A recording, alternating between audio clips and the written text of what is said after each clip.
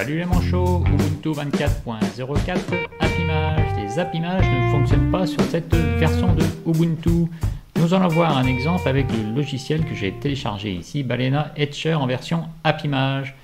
Pour le dépannage, c'est très simple, il suffit d'ouvrir un terminal et vous allez voir ce qu'il va se passer. Vous glissez le fichier dans le terminal pour le lancer, vous cliquez sur le terminal et vous validez Enter.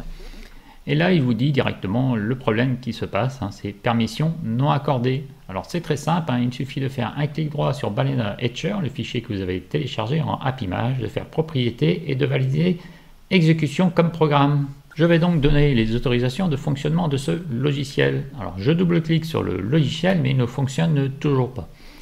Alors c'est le même principe, hein, vous glissez le fichier dans le terminal et nous voir quelle erreur il nous envoie maintenant. Maintenant, il nous envoie une erreur, hein. Appimage requiert Fuse. Donc pour cela, il faut installer le logiciel Fuse. Il vous donne l'adresse du site internet qu'il faut consulter.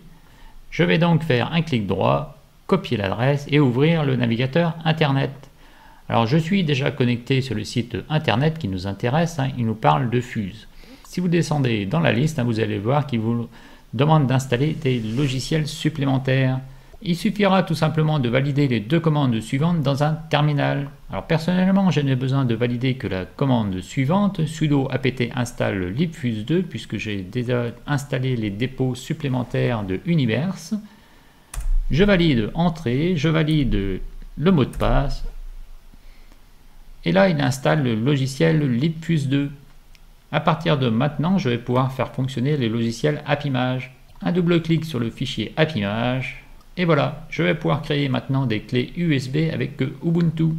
Si vous voulez désinstaller le logiciel libfuse2, il suffira de lancer la commande suivante sudo apt remove libfuse2 t64. Je mettrai toutes les commandes dans la description. Je vous dis Kenavo et à bientôt pour une prochaine vidéo.